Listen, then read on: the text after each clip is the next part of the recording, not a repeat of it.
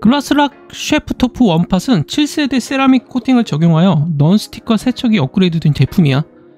식기세척기와 오븐, 에어프라이어, 인덕션, 가스버너 등 모든 열원에서 사용 가능하단 점이 매력적이지. 이마트 트레이더스에서 구매한 글라스락 셰프토프 웜팟의 상자를 개봉해봤어.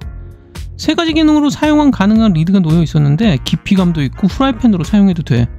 구성품과 사용 시 주의사항, 취급 시 주의사항이 빼곡하게 적혀져 있는데 고체 연료 3개 밑에는 warmer와 pot이 들어있어 완충제로 꽁꽁 보호하고 있었어.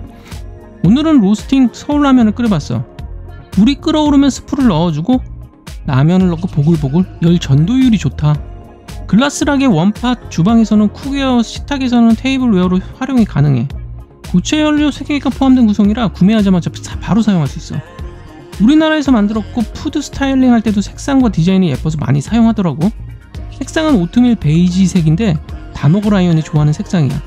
오덴세 그릇도 좋아하는데 오덴세의 오트밀 베이지 색상이 접시 볼 때마다 갖고 싶은 생각이 가득했어. 계란 하나 더 넣어주고 맛있는 서울라면이 완성됐어. 오뎅 한 그릇을 웜팟에 넣고 끓이는데 화력은 세지 않은 편이야. 10분 정도 연소된 고체연료로 데운 오뎅 한 그릇은 따뜻한 정도이지 뜨겁게 끓는 느낌은 아니야. 트레이더스에 방문한다면 좋은 가격에 바로 득템해봐.